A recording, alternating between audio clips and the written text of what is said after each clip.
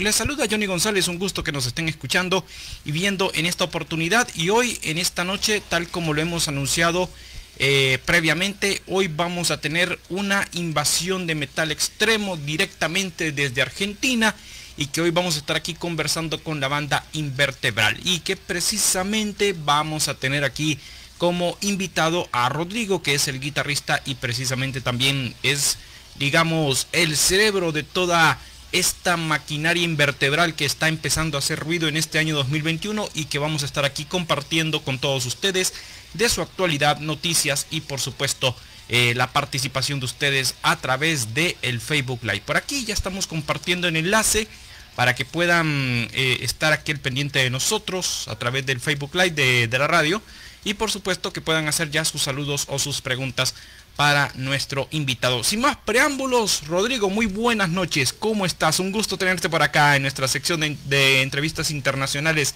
en Conexión Rock Radio. 11 con 2 minutos allá en Argentina.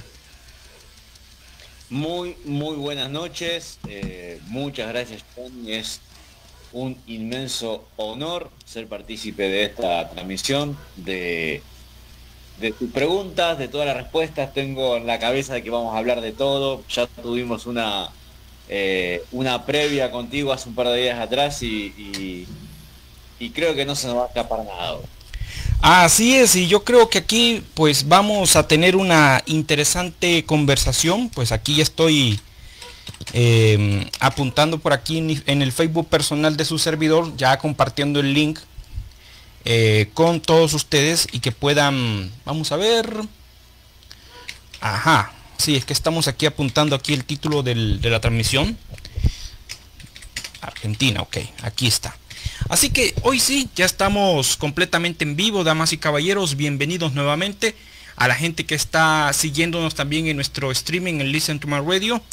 Bienvenidos también y por supuesto a participar y que hagamos de esta conversación de esta noche con nuestro invitado, con Rodrigo, eh, una experiencia bastante buena. Y por supuesto, aquí vamos a dejar preguntas y saludos abiertos, tanto aquí en Facebook como en nuestra cuenta de Twitter, arroba conexión HN y por supuesto a través de nuestro canal en streaming en Listen to My Radio. Bueno, Rodrigo, pues mm, antes de todo, las gracias por el tiempo que nos vas a conceder aquí en esta amena conversación en vivo que estamos conectando aquí con Latinoamérica, resto del mundo a través del Internet. Y por supuesto, pues aquí mucha gente va a conocer de tu interesante propuesta, de tu historia y por supuesto de planes a futuro que Invertebral tiene ya con muchas sorpresas y que las vamos a estar ya revelando eh, en este programa.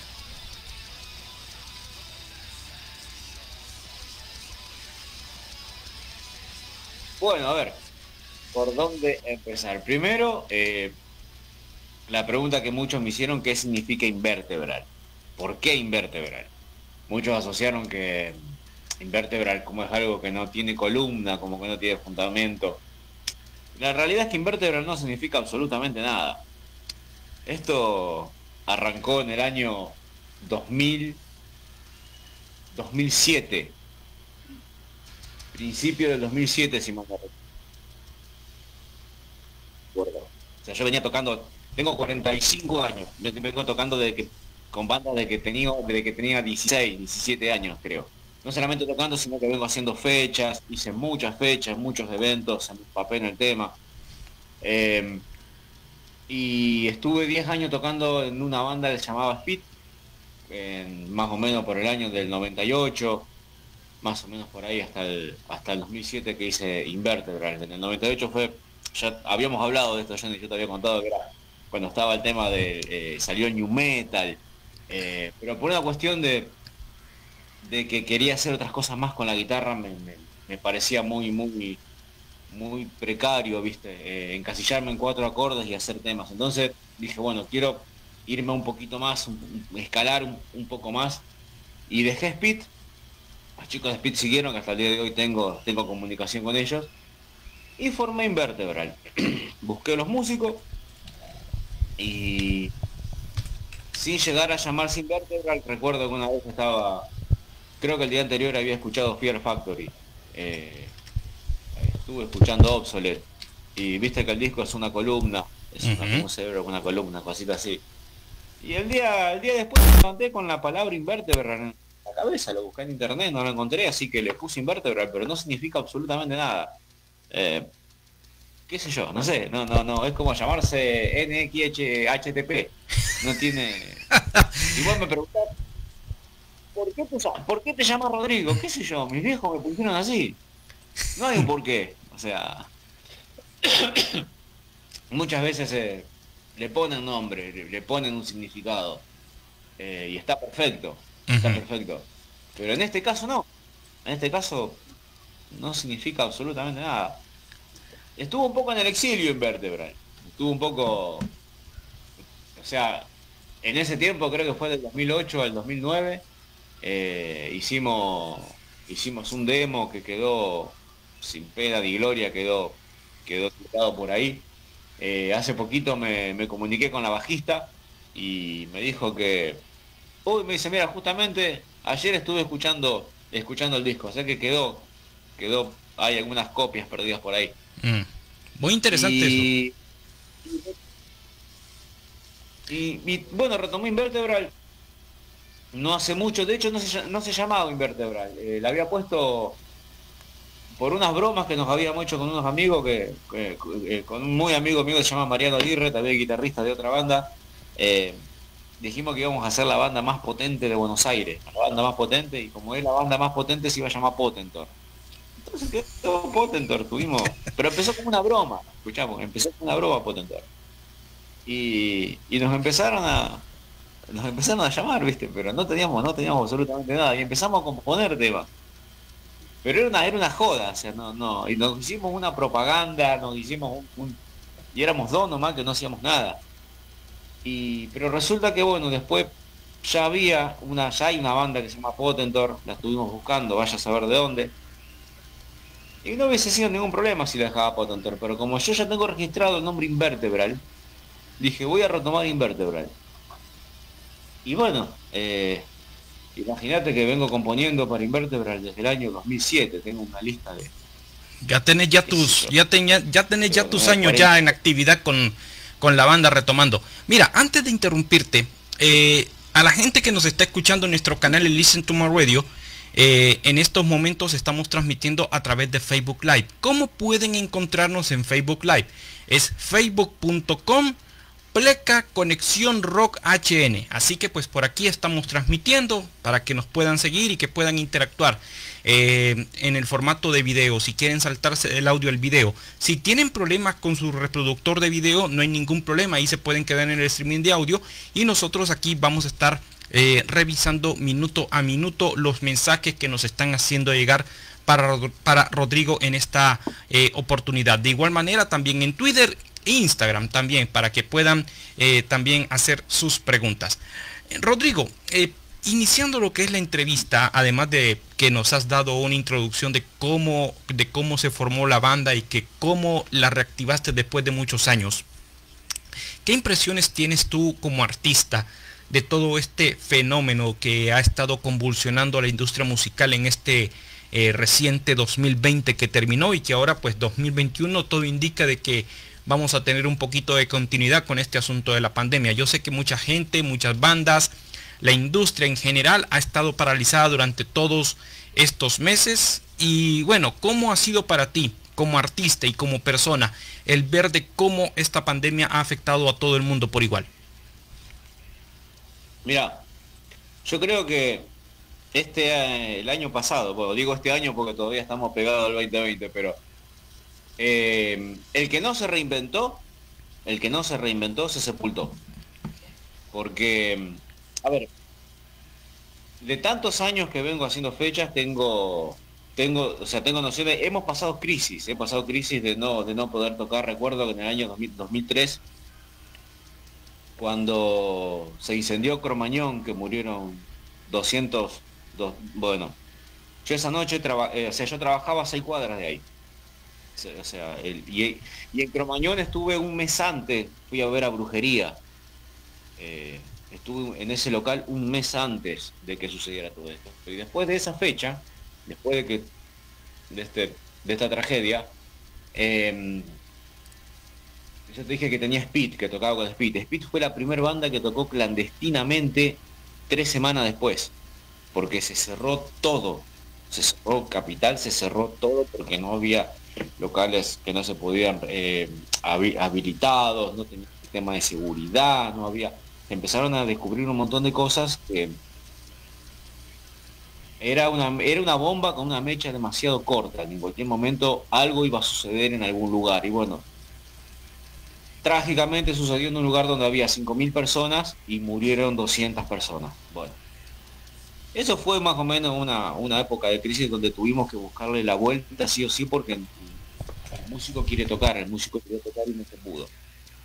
Pero no es mucho, no es mucho comparado a lo que vivimos el año pasado.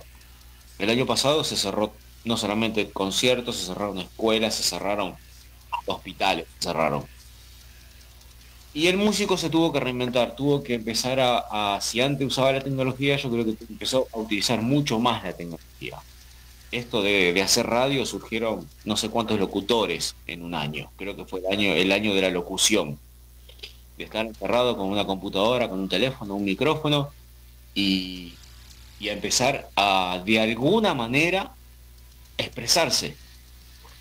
De alguna manera, el Facebook Live no creo que haya tenido tanta repercusión como lo tuvo el año el año pasado. Eh, bandas, o sea, las grandes bandas que nosotros que vos tenías que pagar entradas para ver, los tipos los veías en vivo tocando gratis en tu en tu PC.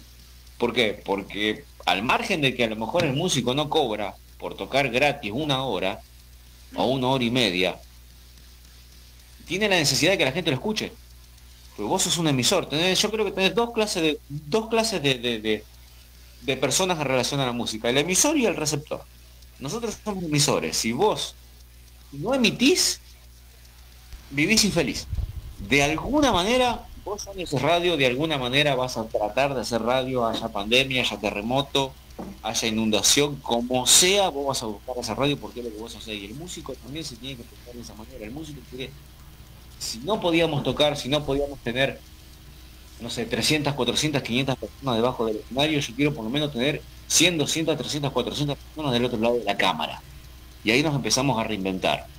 Se grabaron más discos, eh, se, se compuso mucho más, salieron mejores ideas, encuentro más creatividad en el 2020 que en todos los años anteriores, eh, porque vos estuviste en la cama sentado mucho más horas con la guitarra que cuando podías salir a la calle. Entonces hubo como... Y también conozco gente que se tiró al abandono, ¿viste? Que, dijeron, no, no se puede seguir y el no se puede es la principal traba en la cabeza de ser humano. Eh, el no se puede es el propio candado que vos te pones en la cabeza para, para no seguir. Em, tuvimos que de alguna manera salir adelante. De alguna manera, de hecho, el, primer disco oficial que grabó en Vértebra lo grabó en pandemia. Lo grabó. Eh, eh, va a salir a la venta en marzo, eh, pero ya se firmó, se hizo contrato en medio de la pandemia se tuvo más tiempo para grabar, se tuvo más tiempo para mezclar, para, un montón de cosas más. fue algo... Yo no creo que al músico le hayan cortado las alas. Tal vez cerraron algunas puertas. Pero... O sea, con esto que tenemos acá adelante, con esto del internet, el que no se hace escuchar es porque no quiere. Así es. Mira, ahorita que estamos eh, haciendo toda esta transmisión, eh, imagínate, el año pasado ha sido, como tú lo dijiste, es un año donde las redes sociales tuvieron el control en todo el mundo. Eh, las bandas estuvieron emitiendo, muchas bandas estuvieron lanzando sus discos a pesar de que no habían condiciones para conciertos y, y de repente pues la industria de una forma o de otra tuvo que adaptarse a los tiempos tan convulsionados que la pandemia obligó. Y al punto pues de que eh, hemos visto, hemos sido testigos de cierres de festivales, de muchas bandas que se han tenido que desintegrar, de, cesar funciones por lo, por lo mismo, por el aspecto económico. Y como tú dices, a veces eh, el elemento de, esto de las redes sociales o de la interacción con los fans hace de que eh, todo esto en los primeros meses de la pandemia pareciera que estuviéramos en un asunto de vida o muerte. Y, por supuesto, pues yo sé de que actualmente tú eh, estás ya preparando el lanzamiento de este trabajo muy interesante que lleva por nombre En la Promesa y que sale ya en unas cuantas semanas a través de Lamen Records. Quisiera preguntarte cómo te sientes tú como músico en ya lanzar un disco después de muchos años y por supuesto de las expectativas que vas a presentar ya eh, con, con los públicos, no solamente de Argentina, sino que de Latinoamérica y resto del mundo, eh, con, este, con este trabajo que has terminado de grabar? Mira, el disco va a salir en marzo. Em, así que es como que si mi señora estuviese embarazada seis meses. Así estoy ansioso. Este, quiero, quiero que salga ya. quiero que salga ya. Ya. Porque mm, el que es músico sabe que los temas son, no se compara con un hijo, pero uno lo toma como, como algo propio. Y es una comparación un poco ambigua, pero eh, para mí fue una sorpresa. Fue una sorpresa porque mm, yo me considero una persona perfeccionista. O sea, no me conformo nunca con lo que hago. Siempre sé que se puede hacer mejor. O sea, no, no, siempre se puede hacer mejor, se puede hacer mejor si vos estudiaste puedes estudiar un poquito más, si sonás bien puedes sonar un poquito mejor. Em, cuando en el 2018, cuando de alguna manera me fui de Buenos Aires, porque ahora, para que tengan una idea, eh, estoy en un pueblo que se llama Barrancas, que tiene 9.000 habitantes y 2 millones de mosquitos. Estoy en el medio del campo, no hay absolutamente nada acá. O sea, el único que escucha metal en 9.000 personas aquí les habla. No hay nadie más, nadie más, nadie, nadie, nadie más que, mm, que les guste lo que, lo que, lo que hago. Tal es el punto que el disco va a salir a la venta en México. No va a salir en Argentina. Sale en México. Eh, y fue una sorpresa porque yo no lo busqué. Yo lo único que hice fue dedicarme a. Dije, quiero que los temas estén bien grabados. Y como tengo un estudio de grabación, eh, parte de lo que hago es dedicarme a, producir.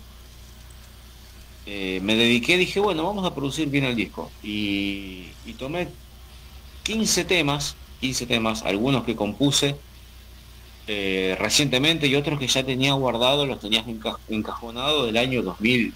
De hecho, el disco empieza con el primer tema de Invertebra que sacamos en el año 2007, con la diferencia que, bueno, tiene algunos cambios. Y de los 30, 30, 40 temas que tengo, que tengo encarpetados, tomé 15 y los empecé a grabar bien grabados, pero meticulosamente, la, bien batería, bien guitarra, borrar, sacar, poner, sacar, no quedarme conforme, tomarme una, dos, tres semanas de descansos auditivos y volver otra vez retroalimentado para, para, para encontrar errores. O sea, le hice un trabajo finito. Eh, dentro de las posibilidades, porque bueno, acá uno, uno tiene que trabajar, tiene que... las cosas de la vida. Y, se contactó, casi sin conocerlo, eh, el buen amigo Abel, que dijo que le gustaba Invertebral y que querían sacar el disco. Lamen Record quería sacar el disco, bueno. Y esa es la bendición, yo no hice absolutamente nada, lo único, ellos se encargan de todo. Como la verdad que son súper profesionales, súper, súper profesionales. No tengo que hacer absolutamente nada se encargaron del arte de tapas, buscaron, trabajaron, creo, de uno de los tres mejores diseñadores de Venezuela trabaja con eso. Eh, ya tienen el máster, creo que de acá va para Los Ángeles, de México va para Los Ángeles y ya de Los Ángeles vuelve otra vez. Es decir, un trabajo impresionante. Y yo no tuve que hacer absolutamente nada. Lo único que hice fue dedicarme a componer, que las letras tengan un contenido de lo que buscaba, de lo que. y dedicarme a la música. Dedicarme eh, te vuelvo a repetir, poner, sacar, pinchar, borrar, agregar, volver a quitar, borrar todo, hacer todo nuevo. Fue un trabajo desde el 2018 que vengo de alguna manera y el 2020 fue, fue el año donde, bueno, vamos encerrando y uno encerrado, o sea, te pones a trabajar con todo lo que tenés encima. Así es. Así fue como, a ver, ¿qué me ibas a complementar por acá, Eh, Rodrigo, ¿qué me ibas a complementar? No, que así fue como se terminó, así fue como, como, como tomó. De hecho, había hecho una tapa, había hecho un diseño y bueno, Abel me dijo, mira, yo tengo este diseñador y me trajo un diseño espectacular, nada que ver, no, había hecho nada. Yo este muchachos no tengo que decirle cómo trabajar porque te das cuenta que, que son profesionales. Entonces le tiré más o menos la idea y en una o dos semanas el, muchacho me dijo, mira, esto es lo que me pediste. Y la verdad que sin palabra, sin palabra porque eh, una calidad impresionante, impresionante. Y, mm, y creo que eso es todo, o sea, me dediqué únicamente a grabar. Muy interesante este, estos detalles que nos está compartiendo por acá Rodrigo y que por cierto aquí estamos sonando eh, aquí de fondo la música del disco que ya en unas cuantas semanas, precisamente en marzo, va a estar saliendo ya a la venta a nivel internacional a través de Lamen Records y que precisamente, como lo hemos dicho, eh, lleva por nombre En la promesa. Vamos a ver, eh, yo no sé si, vamos a ver, si me lo permiten, parece que tengo aquí, no sé si es un saludo que me mandaron por acá en el, en el streaming. Vamos a ver. Saludos a Carmela del Mañico. Del Mañico. Mm, bueno, aquí me está mandando saludos por acá a esta hora de la noche. Bueno, saludos a José Antonio Armero que ahí nos está sintonizando. Y bueno, a ver si José me escribe por acá en el chat de la radio en donde nos está escuchando para que eh, le podamos aquí corresponder el saludo. Así que si quieren hacerle preguntas acá a Rodrigo, eh, para los que nos están escuchando en el streaming de audio, en, en, nuestro canal está un diálogo en la parte de abajo de nuestra página en Lista en Toma Radio, aparece donde dice Open Chat. Ahí, vas, ahí se va a abrir una ventana y ahí pueden dejar sus saludos o sus preguntas. O si no, eh, aquí tenemos canal abierto en nuestro Facebook Live que estamos en estos momentos emitiendo y que pueden aquí interactuar y mandar sus saludos o sus preguntas. Así que de antemano muchísimas gracias por sus participaciones y aquí estamos sonando esto que se llama Ross Was Coming.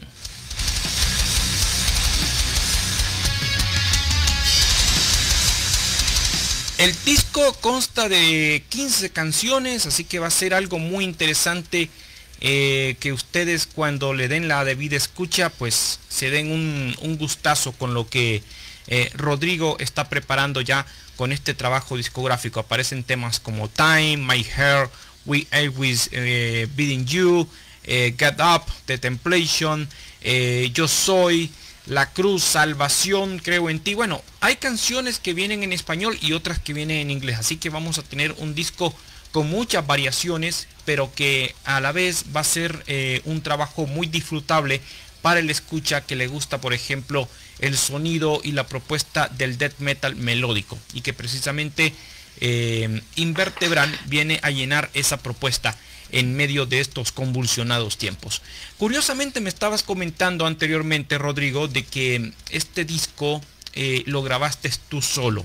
Eh, quisiera preguntarte, durante todo este proceso, durante todo este tiempo que te tocó grabar todo el disco, o sea, todos los instrumentos, ¿ha sido para ti fácil? ¿Ha sido para ti difícil? Viendo que, por ejemplo, no es lo mismo que tú eh, estés trabajando con un grupo de músicos que al menos ya, te, ya, ya siguen una idea o, que ellos te puedan aportar varias ideas a la vez en mejorar un sonido y que de repente pues tú ya tienes ya un lineamiento para cada uno de los instrumentos, que se te hace quizás un proceso más, más lento y más complejo. ¿Cómo ha sido para ti grabar este disco eh, solamente tú, de inicio a fin? Fue, primero fue un desafío, pero, o sea, tengo, tengo algunas ventajas.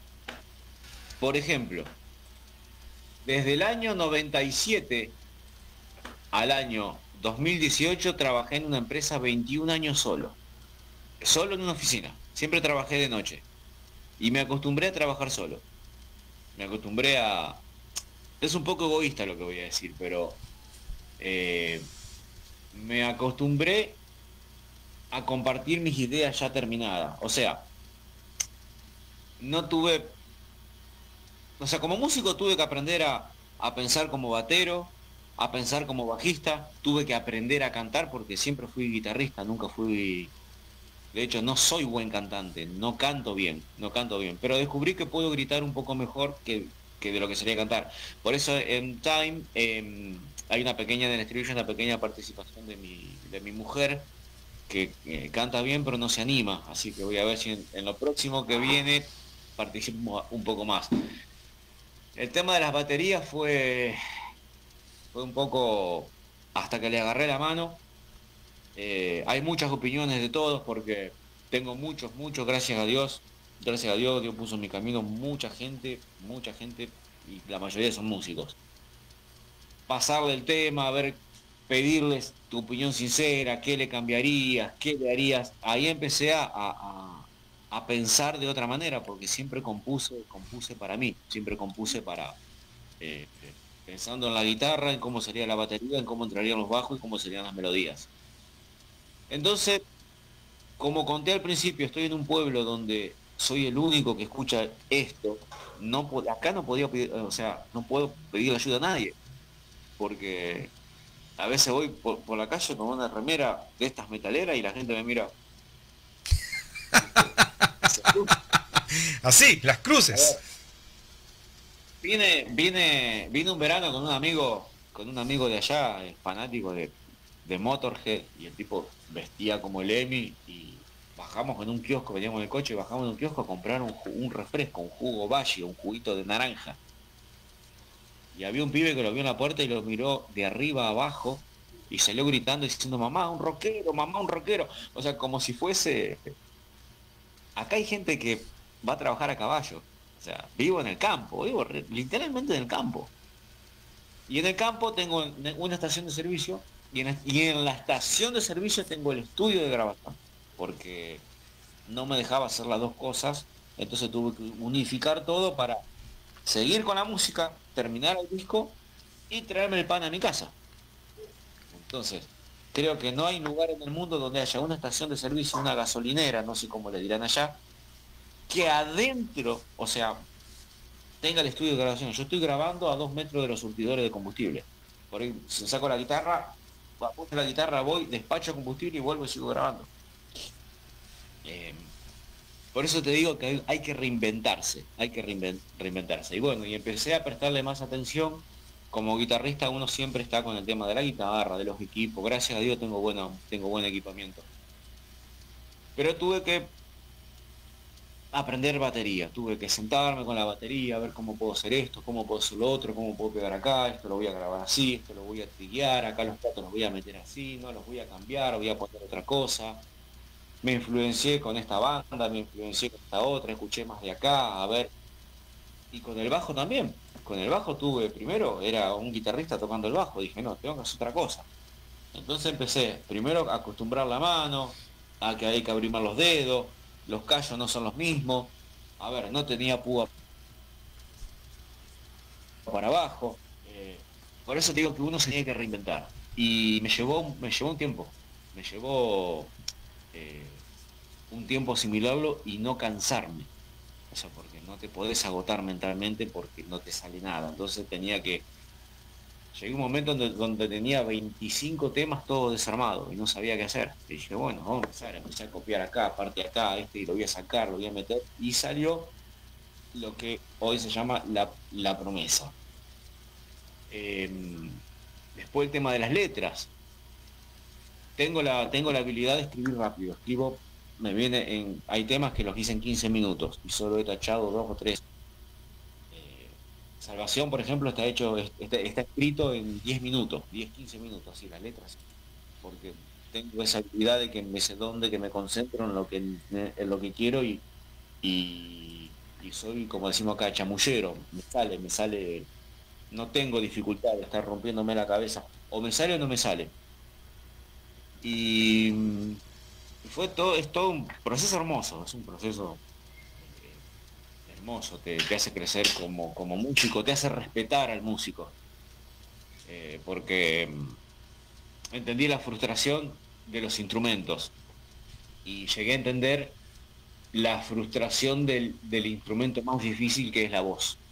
Cuando tuve que agarrar el micrófono y no agarraba, como decía acá, no agarraba un pulpo, no agarraba un, no echaba un centro bien. Hasta que le agarré la mano. Hasta que le agarré la mano. Y fue pinchar, pegar, copiar, pinchar, pegar, copiar. Hacía venir a, eh, perdón, eh, eh, le mandaba el audio a amigos y me decían, a ver, uh, no, yo le cambiaré acá, mira, acá quedaste flojo. Entonces tenía que recurrir a, volvemos otra vez a, lo de reinventarse. Vos antes grababas y no compartías el disco con nadie hasta que lo terminabas y lo sacabas a la venta. Acá se lo hice escuchar a todo el mundo para que cada, o sea, hay un poquito de cada uno, por más que yo lo haya grabado solo. Muy interesante esto. yo le subí o sea, no, no me quedaba otra, no, no, me, no me quedaba otra. Eso me enseñó a abrir la cabeza y aceptar las opiniones de los demás, porque uno como músico, no, no me toques el solo, el solo es así. Sin embargo, sí, es que, sin embargo, a mí me gustaría en el estudio con la estación de servicio pegar un cartel, un cartel que diga todos en algún momento en algo tenemos que ceder porque había cosas que grababa y que, escuchaba lindo y después escuchaba que fulano me decía, mira, la batería va para atrás, el redo no me gusta, yo le haría esto, y tomándote, poniéndote del lugar del otro, te das cuenta que tenía razón. Entonces empecé de un, poquito acá, música acá, hasta que llegué, hasta que llegué a un punto donde le mandé el tema a un muchacho que se llama Hernán Simeoni y le mandé el tema a un muchacho que se llama eh, Diego Barrera, el, Colo Barrera. Hernán Simeoni no tiene un arma metalera, pero es un muchacho que estudió y que sabe muchísimo de frecuencia, muchísimo.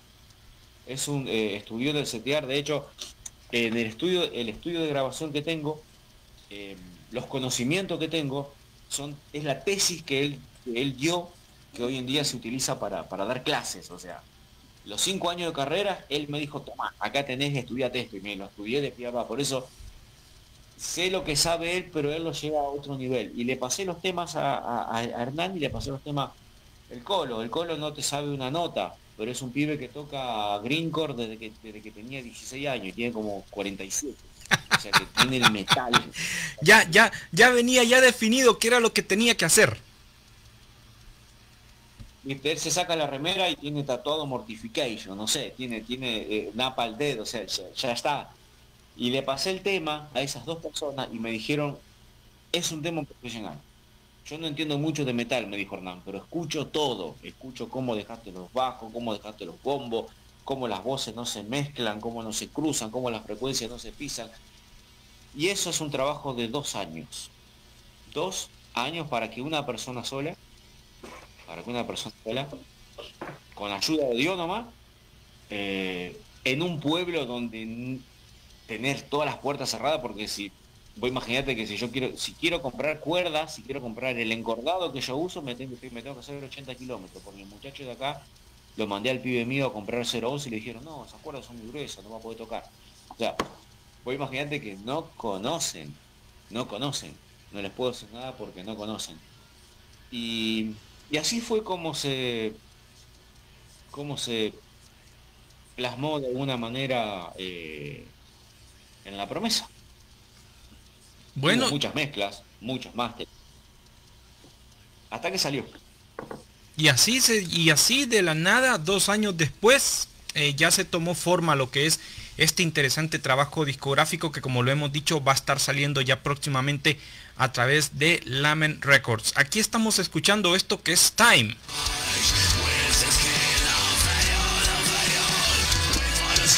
Así que pues por ahí, eh, si quieren hacerle mm, eh, pues compras eh, ya de su material, ya una vez que el disco salga, pues por ahí vamos a estar habilitando lo que es el enlace de la dirección del sello de mi buen Abel, de Lamen Records, para que ustedes lo puedan comprar sin ningún problema a cualquier parte del mundo, o sea, desde México hasta, hasta la Patagonia, si es posible, desde Groenlandia, no sé, península rusa. Bueno, el punto es que es un trabajo muy interesante que tenemos acá en las manos y como lo hemos dicho, los que son amantes de el death metal melódico, aquí pueden encontrar algo muy interesante.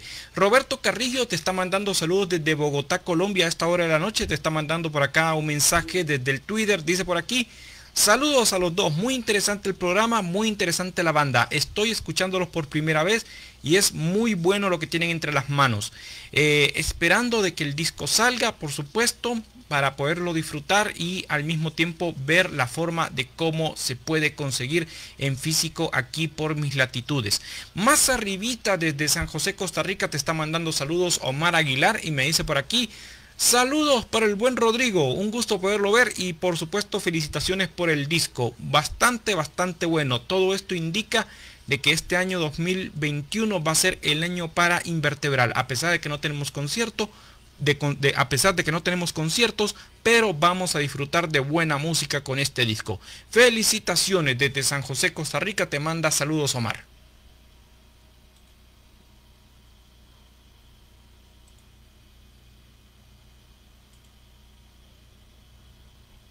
¿Mm? ¿Se me congeló? Vamos a ver, ¿me escuchas? Sí, se había congelado. yo, Ahora sí. Dije yo, vaya, me asusté. ¿Será que se le fue la señal por allá? Entonces, entonces aquí te están mandando saludos desde, desde Colombia, desde Bogotá y por supuesto desde San José. Ya te están mandando para acá los primeros saludos de la noche y disfrutando del, de, de la entrevista y felicitándote por el lanzamiento del disco. Les mando un saludo enorme. Hay un dicho que dice que nadie es profeta en su tierra. Eh, acá, en, acá en, Argentina no, no, no te dan... A ver, esto es muy más que comercial, más que comercial. Eh, si no, si no metes 2.000 o 3.000 personas y generas plata, no te dan, no te dan bolilla, no te dan bolas, no, no. Por eso es que tuve la oportunidad de que no sé, providencia divina de que Abel me dijo, mira, queremos sacar Invertebral. Y curiosamente, curiosamente, Invertebral eh, tuvo en un año mucho más repercusión, mucho más repercusión que del año 2007 al año 2018, por decirte, eh, en el país. Antes todos los temas de Invertebral, antes de que apareciera Abel, eh, de que apareciera Lamen Record. Todos los temas estaban en SoundCloud. Y yo los repartía, ¿viste? Porque quería escuchar, a ver, pedía opiniones. Y curiosamente les gustó a toda la gente de afuera. Me han llamado de, Quito, eh, me han llamado de... Le mando un saludo enorme a esta familia, eh, Tristaña. No, no me acuerdo cómo se llama. Eh, tuvo... Me dijo que le gustó Invertebra, que había que buscar la manera de que Invertebra llegue, que me habló de un festival muy grande que se hace en Quito, se hace en un volcán, creo. Eh, inactivo, por supuesto. Eh, vamos a aclararlo. Este, que quede claro que, el, volcán está inactivo por aquí o que si van a hacer algún concierto, que conste, no vayan a pensar de que eh, van a llevar aquí a Rodrigo y que toque, toque, toquen allá, de repente el volcán se activa y después la gente va a pensar, no, hay que sacrificar acá a, Rodrigo para que se calme el volcán. No, por favor, no, no piensen en esas cosas. Pero sí sería muy interesante ver que, la gente pudiera disfrutar de, otros países la propuesta que tiene por acá eh, Rodrigo ya con su disco. Mira, en México fue bien recibido, no solamente por Abel, sino tengo a, través de los años varios, varios contactos y, siempre, siempre gustó. Eh, en Colombia también, en Colombia también tengo, tengo un par de amigos que, les ha gustado. Por eso siempre fue, a ver, si uno está influenciado por bandas de afuera, va a querer sonar o va a ser parecido a bandas de afuera. Yo toda la vida escuché a mí no me gusta el rock nacional, no me gusta el rock que se hace acá, en Argentina. No me gusta. Puedo destacar algunas que otras bandas livianitas como para comercialmente decir, bueno, suenan bien, tienen buenas letras, pero no me gusta, no es lo que me llega al corazón. Siempre escuché In Flames, siempre escuché Kiss and Gate, ¿te acordás que estuvimos hablando de Samael del año 88? Eh, Crocus fue mi primer disco cuando tenía, no sé si 10 años, no me acuerdo, pero siempre escuché, siempre mi cabeza voló para bandas de afuera. Entonces, era lógico que lo que hiciese iba a gustar más afuera que acá. Eh, así que les mando un saludo enorme, les mando un saludo enorme y estoy muy, muy, muy agradecido, muy, muy agradecido con toda esta gente que se toma, aunque sea 50 segundos, un minuto, 30 segundos, aunque sea para escuchar la primera parte de los temas. Le estoy, pero más que agradecido, más que agradecido. Bueno, pues ah, ese es el resultado, como dice un refrán, lo que se cosecha, pues lo que se siembra se cosecha y genera estos resultados, ya sea eh, a corto, mediano, largo plazo, pero los resultados ahí están y por supuesto, eh, este es el, punto, el punto muy interesante que eh, Rodrigo y por supuesto con su propuesta de invertebral, eh, pues está presentando ya con este trabajo muy interesante que como lo hemos dicho va a salir en formato de en formato CD. Una pregunta para la gente que nos está escuchando o mejor dicho que nos va a ver si nos está viendo, que nos van a ver eh, próximamente y que de repente le, llame la atención la propuesta tuya.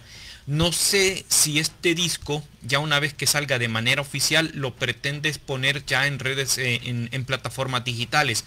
No sé si Spotify, no sé si Deezer eh, o Apple Music, por ejemplo, para que la gente en otros puntos del planeta puede escuchar el disco en digital, pero que de repente si le gusta el físico, pues que lo compre con Abel. No sé si tienes contemplado hacer eso más adelante. Mira, me encantaría hacer todo eso, eso lo maneja, lo maneja Lamen. Eh, de hecho, a pedido de Lamen tuve que levantar todos los temas porque tenía todos los temas en, varias plataformas, en YouTube, tenía, tuve que borrar todo, saqué todo porque me dijeron no, esto lo vamos a producir, por eso te digo que son recontra profesionales. Eh, me hicieron sacar todo. Hay un video promoción. De hecho, si, si quieren ver más o menos, eh, pueden entrar a una página que se llama deradioatv.com. Deradioatv.com. Eh, ahí, bueno, Invertebra tiene su programa, están pasando música en estos momentos, de música a las 24 horas. Y ahí hay una tienda donde pueden comprar, pueden eh, eh, encargar el CD de Invertebral y hay otra, y otras bandas más, que es todo de Lamen Record. Lamen Record tiene una tienda ahí, eh, donde podés este, contactarte con, con Lamen Record o podés comprarlo directamente por ahí, por, por PayPal creo. Tiene, tienen unos enlaces. Y tiene un enlace donde dice el género de la banda, donde te lleva a un tema, te lleva a un video de promoción. De hecho, eh, estamos pensando en, hacer un video más, de sacar un tema, creo que el primer tema es, eh, queremos, quiero hacer un, un, video más para, para, para apoyar el tema de la, de la, de, la promoción. Eh, pero eso lo tengo que hablar con Abel, eso tengo que, ellos me dijeron, saca todo, saca, levanta todo, vas cargando temas, borra todo, borra todo porque bueno, ellos lo ven como, como, como algo que se puede, como algo que se puede vender. Eh, nadie va a comprar algo si, enfrente de tu casa lo tenés gratis. Eh, Lógico, muy comprensible, muy comprensible lo que lo que tú comentas. Eh, entonces, pues en este caso, por aquí en el chat de en el chat de la transmisión, amigos, hemos dejado por acá el enlace de, de, de radio a TV. aquí lo dejamos acá en el chat por si eh, quieren conocer un poquito más de lo que está haciendo eh, Rodrigo, además de Invertebral, pues ahí tiene también su, estudio y que pueden ahí escuchar este y varios adelantos. Bueno, te está mandando por aquí saludos desde Ciudad de México Enrique Vega. Dice por aquí, me voy a acercar con el buen Abel. Buenas noches antes de todo, me dice por acá Enrique. Ay, ay por Dios Enrique. Entonces primero mandar la pregunta y después el saludo. Es al revés. Bueno, eh, me está comentando aquí Enrique, me voy a acercar aquí con el buen Abel lo voy a buscar, me voy a comunicar con él porque sí me interesaría coleccionar ese trabajo y dar mis opiniones ya una vez que lo escuche. Pero de antemano felicitaciones por todo el esfuerzo que has hecho durante todos estos, eh, durante todos estos dos años y que definitivamente te puedes sentir satisfecho ya con un trabajo que ya puedes sentirte bien que pues que haya tenido un resultado muy interesante. lo que me está comentando por acá Enrique de Ciudad de México a través de la red del pajarito, por no decir la del Twitter. Así que muchísimas gracias Enrique y muy buenas noches allá hasta México. Imagínate que toda, ya, ya están empezando a generar este, este, este hype de querer comprar el disco, ya a la salida? Mira, México, México es un lugar al que le dé una visita. México es, eh, tengo, tengo gente amiga muy querida desde hace muchos años y, nunca tuve la posibilidad de, de, ni que fuera tan fácil. O sea, busqué, busqué Google Maps y hay 7.500 kilómetros de acá a la Casa de Vela, así que, o sea, fácil no es, pero este es un lugar al que, al que le debo, me debo me debo una visita porque me gusta me gusta mucho el tema de la cultura, la historia que tiene. Siempre me gustó, siempre. Mucha gente se enloquece por ir a Estados Unidos. A mí me gustaría conocer, eh, no me gusta tanto Yanquilandia, pero eh, México es, es, un, es, un, es un lugar al que si tengo que elegir para ir de vacaciones, iría con México. Muy interesante. Y por cierto, pues te comento, eh, tuve la oportunidad de escucharte hace unos días atrás en la emisión de, Radio ATV. Yo no sé quién era, era la, chica que te estaba acompañando en locución, que de paso pues le envío un saludo a ella si, le, tenés la oportunidad de verla más adelante. Estuviste comentando eh, que estabas ahí leyendo varios carteles, varias informaciones y de repente mencionaste el México Metal Fest. y para la gente que nos está viendo, y más aún los, los amigos mexicanos, el, el, México Metal Fest es de los festivales de mayor renombre a nivel de México y que pues muchos están considerando que es como la versión mexicana del Back End Open Air, que pues ahí se reúnen un gigantesco cartel de bandas y bueno, pues está otro festival que es el Hell and Heaven, está el Monterrey Metal Fest, pero lo que es el México Metal Fest es como el referente de la, de la cultura mexicana allá en, Distrito Federal. Entonces, por esa razón te mandé el mensaje en el WhatsApp rápido y te, y te, puse ahí un, breve perfil de lo, que, de lo que ustedes estaban hablando en ese momento. Sí, me acuerdo. Em, de Radio TV, principalmente es una propuesta descentralizada, que después voy a hablar contigo eh, en privado por ese tema y seguramente te va a interesar. ¿Qué quiere decir descentralizada? Que tú puedes decir lo que quieras. No vas a tener baneos ni restricciones. Puedes abiertamente decir o hacer comentarios sobre cosas que en, otros lados te comes 20 días de, sanción. No vamos a nombrar, sabemos, sabemos, de qué hablamos.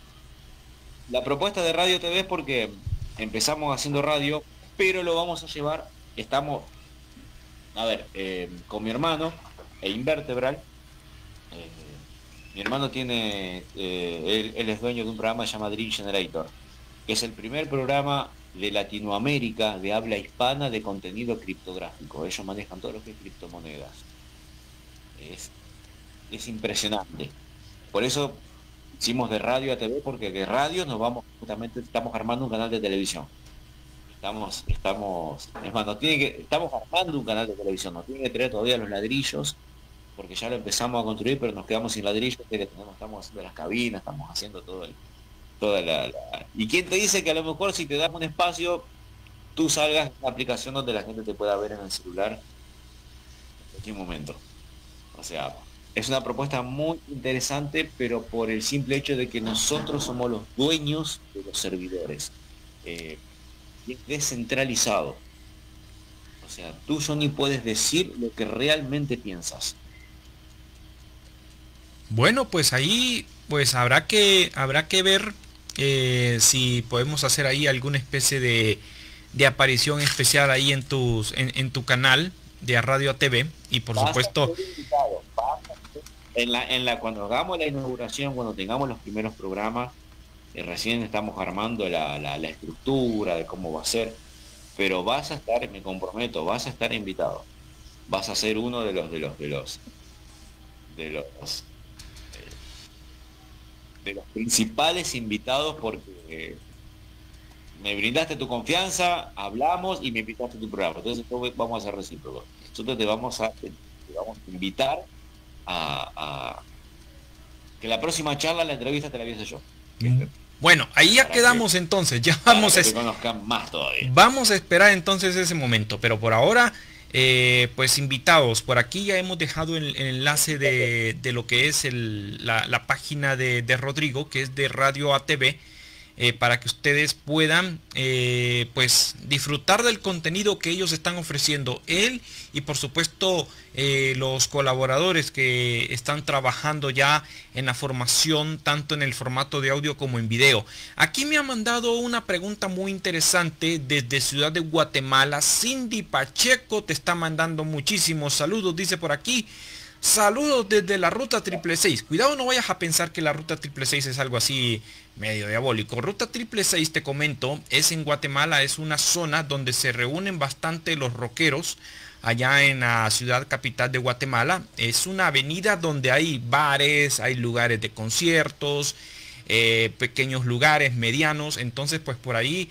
eh, yo creo que, yo no sé si es en la zona 3 o en la zona 4, Cindy, por favor me haces aquí la corrección si estoy un poco equivocado, un poco errado en el dato.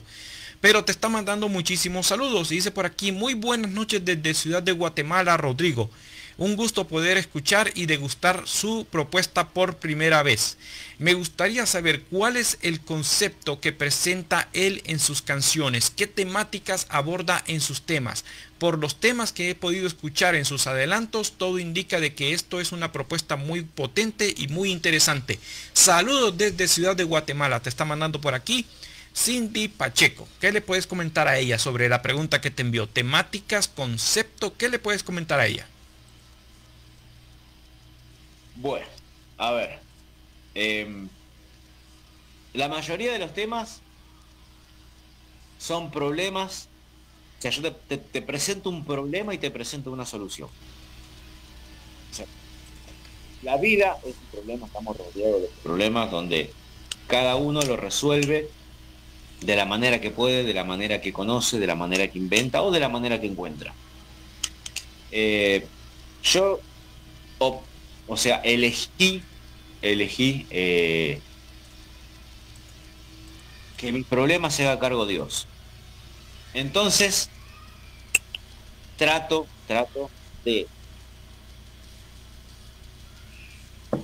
que la gente se sienta identificada con cosas que me han pasado, principalmente que me han pasado, porque no soy, si bien somos seres únicos en el mundo, pero situaciones hemos vivido todos, todos, todos, todos. O sea, es muy, es muy egoísta pensar que lo que a ti te pasó, te pasó únicamente a ti.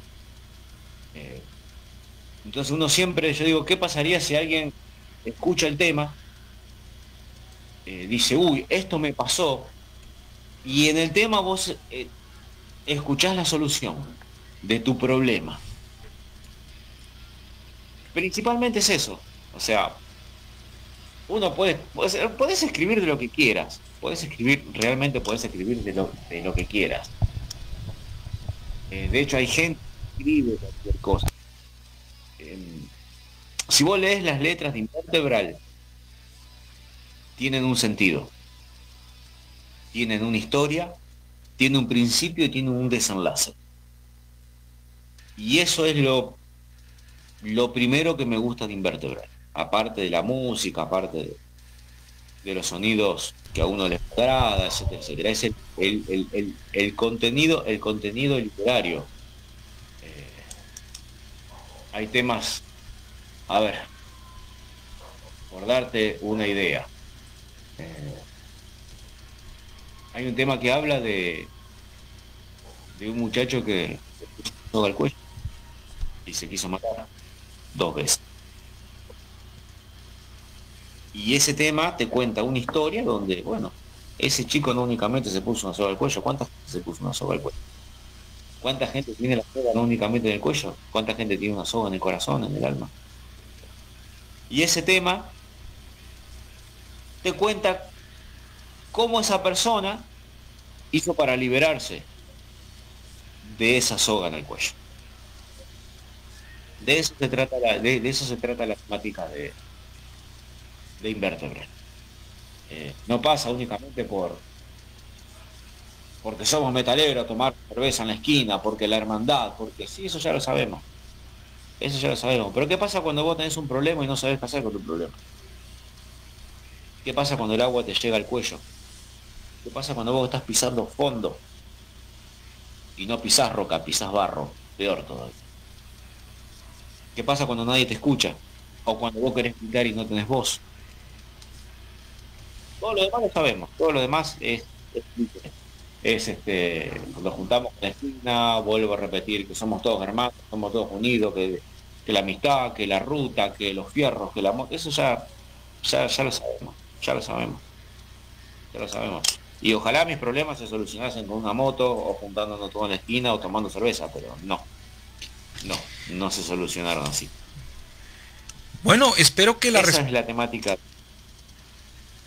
Gracias por la respuesta que le has dado por aquí a Cindy hasta, hasta Guatemala. Te agradezco muchísimo Cindy, muy buenas noches. Gracias por estar aquí en sintonía y te agradezco muchísimo que nos estés acompañando y que estés degustando de buenas propuestas como la que estamos presentando aquí en nuestra plataforma. Néstor Hernández te está mandando muchísimos saludos. Dice por aquí felicitaciones a Rodrigo. Eh, al igual que muchos, pues invertebral aquí en nuestra región es un grato descubrimiento. Quisiera preguntarle a él, me interesó muchísimo la parte en la cual él estaba diciendo que se tenía que reinventar y lo hizo. Eh, ¿Qué te motivó? Me está preguntando él, ¿qué te motivó en grabar tú solo el disco? A pesar de que eh, pues tenías, eh, podías tener músicos o que podías conseguir músicos para que el proceso para ti en el disco, en la grabación, fuera mucho más fácil. Es lo que te está comentando Néstor. Mira qué interesante pregunta. O sea, ¿qué te motivó a hacerlo, hacerlo hacer el disco completamente solo, sin ayuda de, de otros músicos que te pudieran hacer mucho más fácil las cosas? ¿Qué le puedes comentar a él? Mira, em, acá músicos no hay. En realidad hay músicos, pero no hay músicos que hagan lo que, lo que hace Invertebral. Por ende tuve que aprender todo lo demás para poder grabarlo porque lo quería grabar. ¿Y por qué? Porque pude. Porque pude. Porque dije, lo voy a hacer, lo quiero hacer, es una consigna que tenía que hacer. Era algo que, sentí de parte, de parte de Dios que lo tenía que hacer. Eh, porque pude. O sea, muchos tienen dones, muchos tienen llamados, muchos tienen yo sé que lo mío es, siempre supe que lo mío es hacer música. O sea, no, no, no, no. Eh, jamás me vi eh, trabajando en una oficina y laburé 21 años en una oficina. Pero sí me vi haciendo música. La mm, una historia cortita, cuando estábamos en la, en la primaria, tenía 17 años, terminábamos, perdón, la secundaria, terminábamos la, la secundaria, el director hizo una pregunta a cada uno de qué íbamos a hacer cuando saliéramos de la escuela. Y muchos dijeron, yo voy a trabajar en la fábrica, mi viejo trabaja en el banco, yo voy a trabajar en el banco, yo voy a trabajar acá, voy a hacer acá. Cuando me preguntaron a mí le dije que no sabía lo que iba a hacer. No sabía lo que iba a hacer. Me dice el tipo, bueno, usted ya es grande, usted ya debe saber lo que va a hacer. No, le digo, la verdad que no sé lo que voy a hacer. Sí sé lo que quiero hacer. No sé lo que voy a hacer pero sé lo que quiero hacer. Yo quiero hacer música. En ese tiempo estaban los Guns N' Roses de, moda. Era el auge de... Eh, y fue la risa, la risa de todo. Hoy en día el que quiso ser banquero no lo es. El que trabajó en la fábrica, la fábrica cerró. El que quiso seguir... Hicieron lo que, lo que pudieron. A manotazo de ahogado. Lo que pudieron, lo que encontraron. No, señor, yo quiero hacer música quiero hacer música. Y si tengo que vivir en el fondo del mar, me voy al fondo del mar con la guitarra. ¿Qué me impulsó? Que puedo. Que puedo, puedo. Puedo hacer música y voy a seguir haciendo música. No hay otra. Lo que querés, una mujer una vez, la mamá de un amigo me dijo, lo que tú tienes en la cabeza, lo tienes en las manos. Es algo tan simple como esto. Bueno, Néstor, yo creo que más directo el mensaje con la respuesta que te dio aquí Rodrigo, más directo no pudo ser. Así que te agradezco muchísimo por la participación acá en Twitter. Y por supuesto aquí tengo varios mensajes muy interesantes que nos están haciendo llegar a través del streaming. Y les agradezco muchísimo que estén aquí acompañándonos y que estén aquí disfrutando de bandas muy interesantes como Invertebral. Aquí estamos escuchando, por cierto, de fondo esto que lleva por nombre Salvación.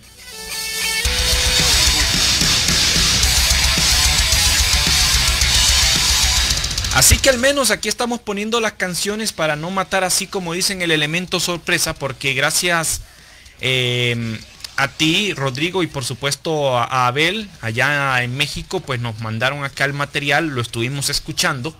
Tenemos nuestros comentarios, pero vamos a, vamos a esperar que el disco salga para darle un respectivo análisis. Vamos a hacer un artículo aquí en nuestra web para dedicarle lo que es el disco, para que ustedes lo conozcan.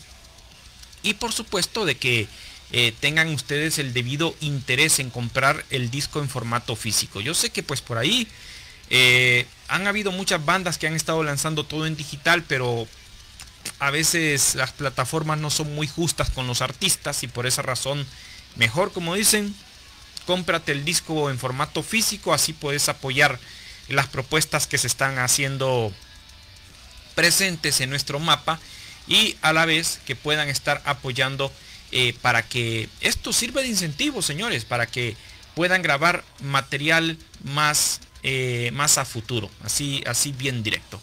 Así que les agradezco muchísimo y por supuesto pues aquí vamos a continuar con nuestra programación aquí en Conexión Rock Radio teniendo a Rodrigo de la banda Invertebral.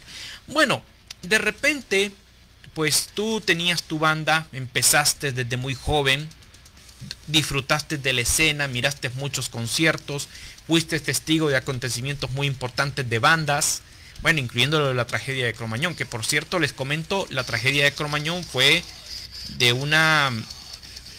Vamos a ver, voy a bajar por aquí el monitor, que lo tengo por aquí súper alto, aquí en, el, aquí en, mis audífonos, entonces por aquello que no se me vaya a disparar aquí un feedback. Sí, ya, ya se me quiere disparar aquí el feedback, aquí el 5.1. Vamos a bajarle un poquitito. Así que me indican si se escucha bien. Les decía yo, eh, tal como lo comentaba eh, aquí Rodrigo, la tragedia de Cromañón fue un incendio que se dio en 2004, que fue pues eh, provocado en, bueno, se dio en, fue, se, dio en una discoteca en Buenos Aires donde tocaba la banda Callejeros. ¿Quién no se acuerda de Callejeros en aquellos días? Eh, el punto fue de que hubo un... Dime. Si me permitiste lo voy a, te lo voy a ilustrar porque yo trabajé esa noche. O sea, yo trabajaba, eh, no sé cómo le dicen allá, eh, parking, era, era vale parking. De parking, o sea, estabas ahí manejando... Sí, o sea, era un, estacionamiento. Sí, el parking y el estacionamiento. Entraban, claro, 314 autos entraban ahí, para que te des una idea. Cinco pisos. Yo solo trabajando ahí. A seis cuadras de Cromañón. Diez y media de la noche, entran dos chicos dos muchachos, uno en cuero, con la camisa en el bolsillo, así, todo, que, todo lleno de, tierra. Yo los, vi de tierra. Pensé que era gente, pensé que era, sinceramente, que eran indigentes que venían a pedirme el baño. Porque vienen el baño. Pero no, se paran adelante de mi oficina, se mete la mano en el bolsillo y me da un ticket. Veo el ticket, los pibes tienen un auto acá. les cobro, y en medio en confianza se me da por decirle, perdóname, le ¿ustedes dónde vienen? ¿De la guerra? Porque mira cómo están. No, me dice, boludo, se está quemando Cromañón, se está muriendo gente, me dice. Y se fueron. Pongo el informativo. Y bueno, acá tenemos el famoso Crónica, que a veces son un poco exagerados. Cromañón, 13 muertos. Uh, digo yo, qué desastre. A los 5 minutos, Cromañón, 30 muertos. Uh, digo, ¿qué, qué, habrá pasado? Me imaginé que era un incendio porque los pibes, cuando les presté atención, estaban, estaban de hollín. Otro mensaje a los 20 minutos, Cromañón, 50 eh, muertos. Nah, esto ya no puede ser. Y empezaron a pasar las ambulancias. Pasaban, pasaban, pasaban y fue fue un desastre. Haciendo un recondo, el mes anterior, yo iba con unos amigos a ver a brujería mi interés, no soy fanático de brujería, pero mi interés como yo en ese momento hacíamos sea, las fechas que hacía con Speed, las organizaba, organizaba la fecha, me encargaba la entrada, de alquilar los locales, de repartir el dinero, me, hacía todo, hacía todo, o sea, como músico también hacía, hacía todo eso. Siempre le puse énfasis a los detalles del lugar, porque estaría bueno alquilar Cromañón para hacer una fecha grande, invitar bandas. Y el lugar no tenía matafuego, me consta porque... ¿Por qué se quemó tanta gente? Porque había una sola puerta de entrada y salida, una sola puerta de entrada y salida, que fue donde se hizo un tapón de, gente. Vos mirabas para arriba, Cromañón tenía unos 6 metros hasta el techo, 6 o 7 metros hasta el techo. Vos veías todo negro, el techo todo negro, con, luz, con lucecitas. Te daba la impresión como que era el cielo. Bueno, eso, ese negro era eh, un plástico que acá se le llama media, media sombra, que es un plástico tipo una malla de plástico. Y arriba, arriba, estaba, tenía guata. La guata, acá se le llama guata al relleno de las camperas inflables. Y era material práctico. O sea, era material inflamable lo que tenían ahí encima. Lo, que sucedió fue que de, las bengalas que tiraron, una de las bengalas pegó. quedó enganchada en el, pegó, se empezó a incendiar y empezó a caer el plástico derretido arriba de la gente. Ese plástico, ese plástico es un plástico negro que tiene un humo negro tóxico parecido al humo negro de los neumáticos, de las cubiertas de los, carros. O sea, te ahoga. Por eso fue que se fueron todos a la única puerta, la única puerta, porque las demás puertas estaban clausuradas y me constan porque recuerdo, tengo, tengo la, visión de que habían pintado tantas veces las puertas, que vos no veías, eh, la unión entre el marco y la puerta estaba lleno de pintura. O sea, hacía años que no se abrían esas puertas, las de emergencia. Y la única puerta se hizo un tapón de gente. Vos imaginate que murieron 200, en ese momento había 194 personas muertas, 194 chicos muertos. A eso sumale las inconscientes o el inconsciente que iban al recital con los bebés. Había chicas con bebés, donde los baños del piso de arriba tiraron colchones arriba de los baños, eh, eh, tiraron colchones adentro de los baños e hicieron guardería, iban, dejaban, tiraban el bebé al baño y se iban al recital. O sea, yo estuve ahí. estoy mintiendo, No, yo sé, yo sé, si me estás diciendo por eso, eh, o sea, no, nadie te está, nadie te está cuestionando. Definitivamente yo sé que eh, fui testigo de, la, de las noticias que se estaban dando de la época y yo sé de que de repente, pues después de esta tragedia, eh, pues las autoridades comenzaron a indagar y de repente comenzó una especie de cacería de brujas contra todo lo que sucedía dentro del medio artístico, al punto de que eh, al día de hoy eh, las regulaciones para hacer espectáculos en lugares cerrados son más estrictas, por aquello que no vuelva a suceder una tragedia similar como lo que pasó en Cromañón. O lo de Cromañón fue una lección muy, muy dura que ustedes tuvieron que asimilarlo con, todo ese resultado fatídico que, pasó esa noche? Una lección para las dos partes. Para los dueños del local, en un lugar donde 3.000 personas metieron 5.000 o 6.000.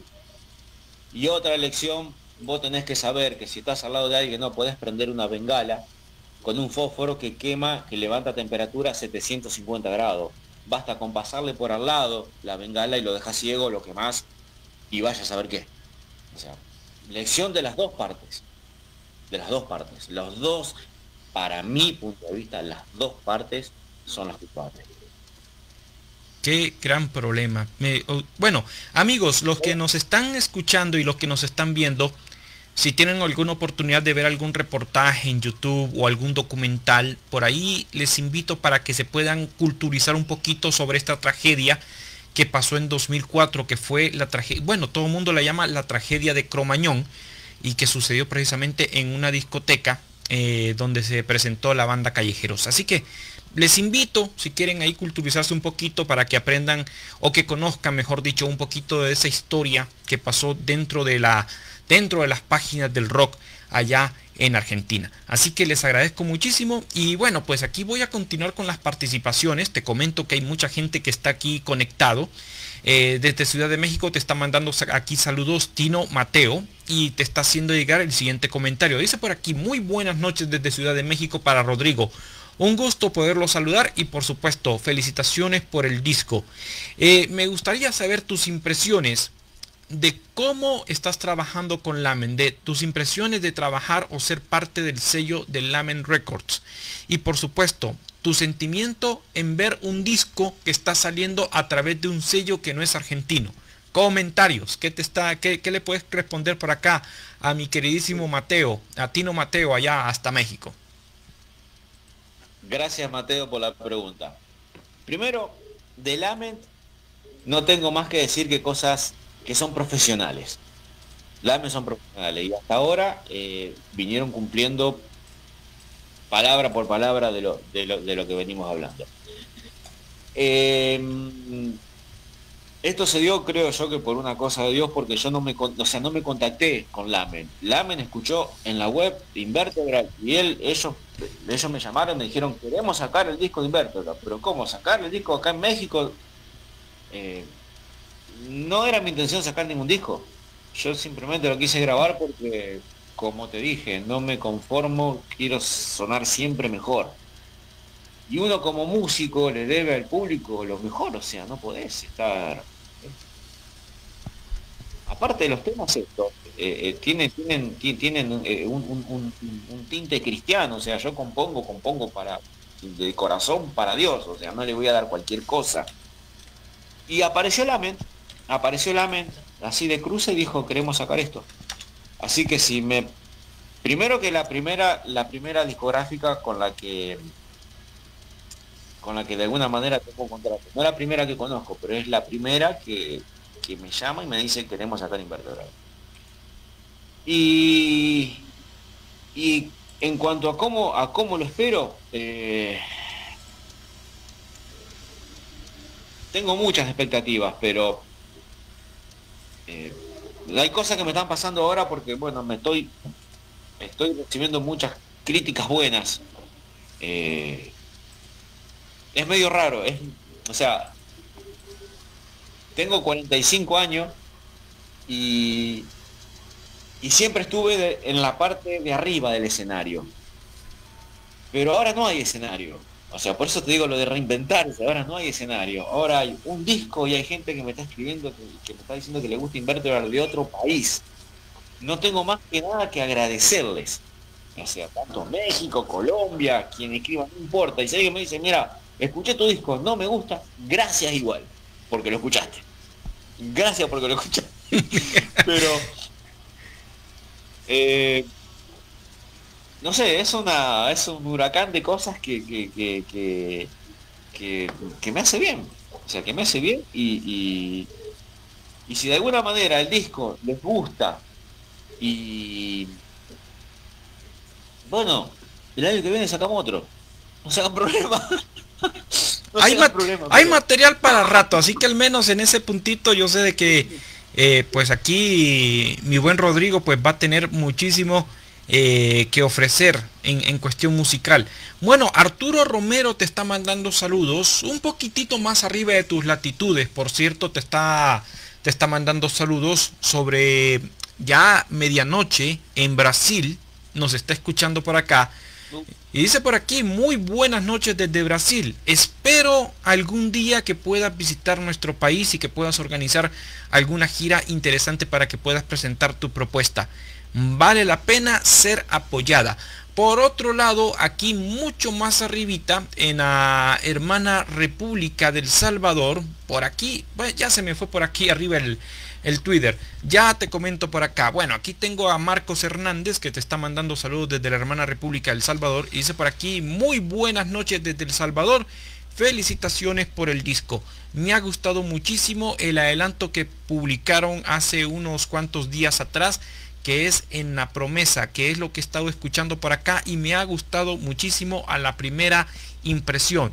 felicitaciones eh, y por supuesto que continúes haciendo muy buena música, la mejor de las suertes allá en Buenos Aires, es lo que, bueno, allá en Argentina mejor dicho, es lo que te está comentando para acá Marcos Hernández desde San Salvador, imagínate, desde Brasil y El Salvador, eh, mandándote comentarios a esta hora. En Brasil tengo eh, para, para, para Brasil. Tenemos a los chicos de Antidemon, eh, a Batista y a Juliana, que son muy, muy amigos nuestros.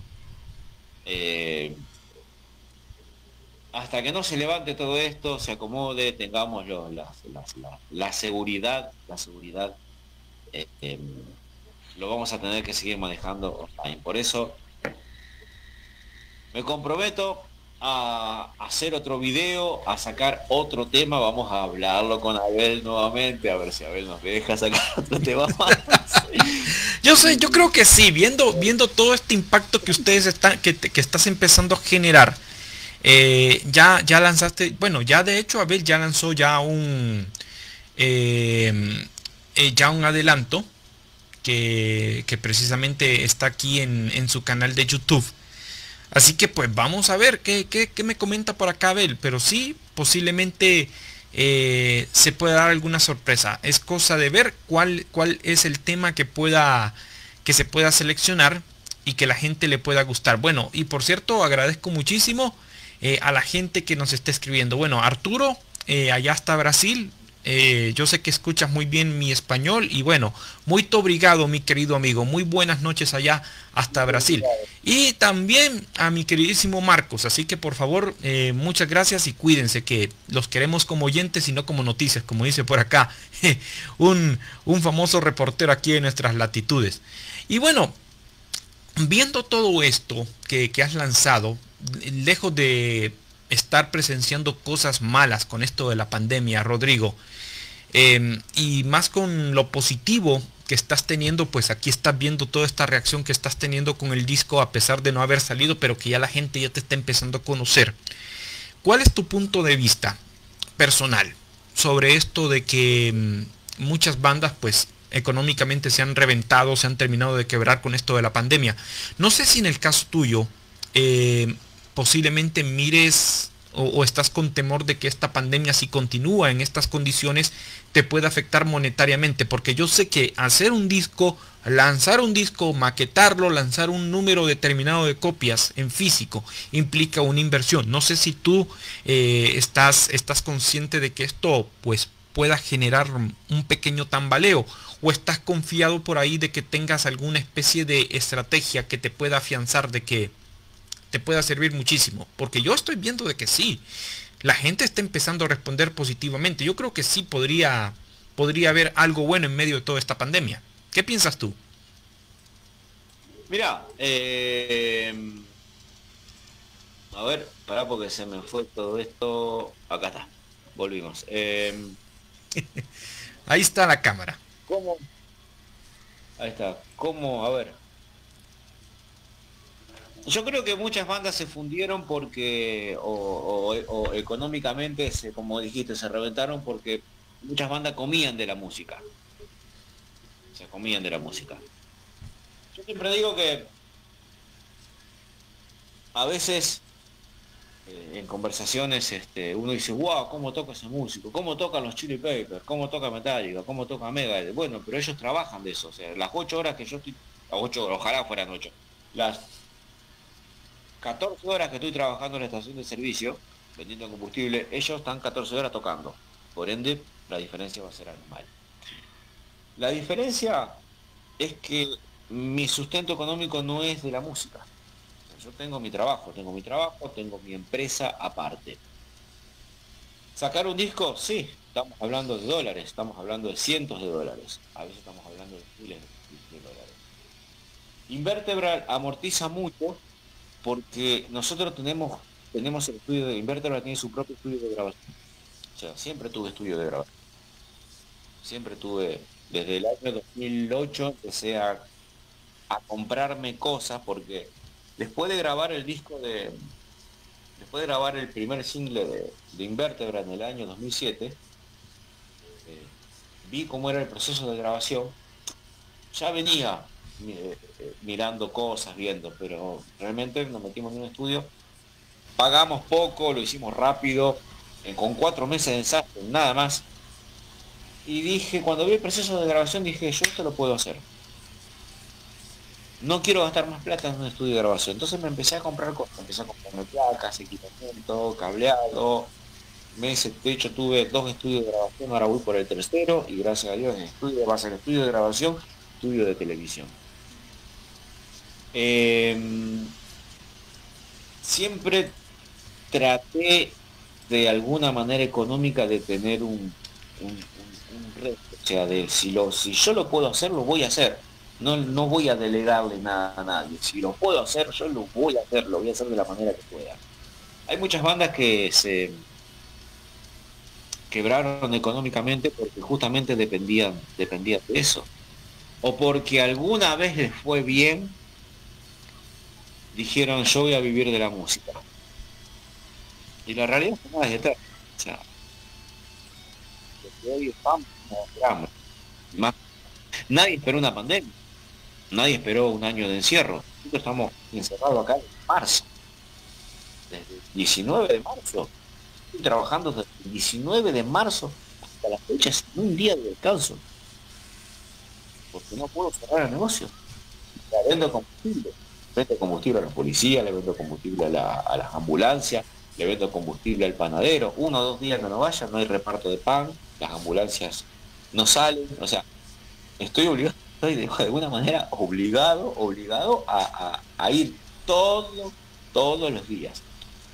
Y antes lo trabajaba con mi, con mi papá, pero mi papá como una persona de riesgo quedé solo, por esto es que me traje el estudio de grabación que estaba al fondo y lo traje adelante.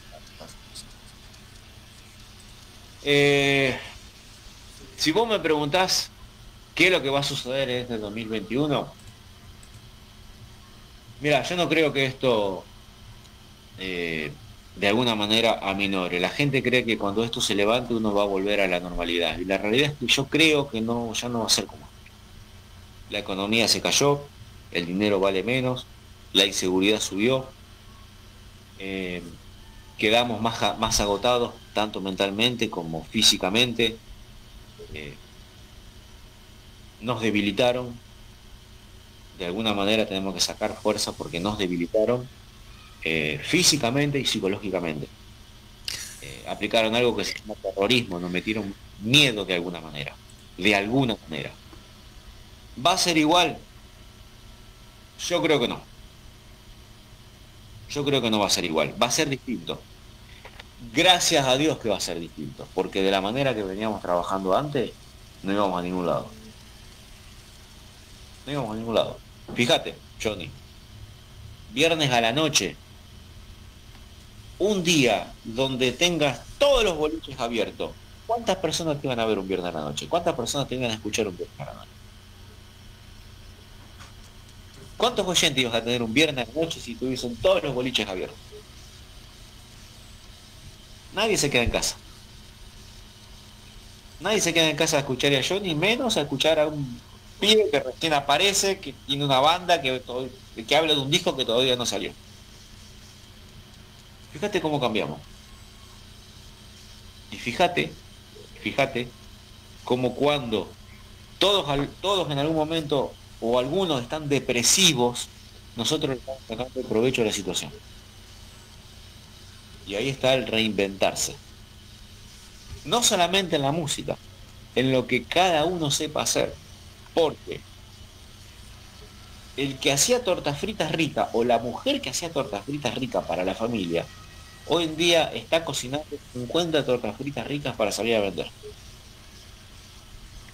El que empezó con unos equipitos, hoy en día puso una radio. Y yo calculo que en el año 2000, el año pasado te escucharon mucho más de lo que te escucharon ¿Por qué? Porque había más gente adentro. Había más gente adentro. Nos sacaron unas cosas. Sacaron muchas cosas. Pero sobre lo que nos sacaron aprendimos a valorar, lo que realmente teníamos. Entonces, si vos me preguntas qué se va a venir el 2020, ahora, este año, mira, hay muchas teorías, hay muchas conspiraciones, hay muchas... Lo único que te puedo decir es que no va a ser como era antes. La economía cambió, la moneda cambió. Te lo digo porque todos, todos los, los, viernes a las de 7 a 10 de la tarde tenemos el programa con mi hermano justamente donde hablamos de las criptomonedas. Eh, como nosotros con 500 dólares el año pasado hicimos 16.500 en seis meses. Fíjate que cuando todos lloraban porque les faltaba, porque la mayoría lloraba porque les faltaba dinero, nosotros hasta nos reinventamos económicamente. Y con facturamos 16.500 dólares. Que ese es otro tema. No tiene nada que ver. Pero a lo que voy. Yo creo que el secreto está en la voluntad la voluntad de decir, esto me frenó, ok, me frena, pero no me detiene. Hace que vaya por otro camino. Pero si vos tenés el objetivo delante tuyo, si vos tenés el objetivo delante tuyo, vaya por donde vayas, siempre de alguna manera vas, siempre de alguna manera vas. Y ahí yo ya te tendría que hablar de otra cosa que se sale del reportaje, que es de la fe. En creer, en creer que lo que vos tenés en la cabeza, lo tenés en las manos. Así es. Lo tenés en las manos. Mira, ahorita, ahorita que estamos aquí conversando, ya apareció por aquí mi buen Abel, Abel Gómez. Aquí, aquí apareció en el chat. Saludos para ti, Abel. Un gusto que nos estés acompañando. Te comento eh, aquí en el transcurso de la transmisión hubo bastante feedback de gente que ha estado escribiendo en varios puntos de Latinoamérica. Te comento de México, Guatemala, El Salvador, Costa Rica, eh, también de Colombia, de Brasil y están más que interesados ya en el proyecto de, de aquí de mi buen Rodrigo y que hay bastante expectativa por el lanzamiento del disco. Así que ya mucha gente ya está empezando a conocer Invertebral a través de lo que has puesto desde tu canal en YouTube. Así que de antemano, pues felicitaciones. Yo sé que va a ser eh, un proceso de mucho trabajo en el asunto de promoción y de lanzamiento del disco. Así que eh, vete preparando porque presiento de que aquí va a haber mucho movimiento con, con el proyecto de, de Rodrigo. Por cierto, aquí estoy sonando esto, que es el track que es el que le da cierre a este disco que es The End.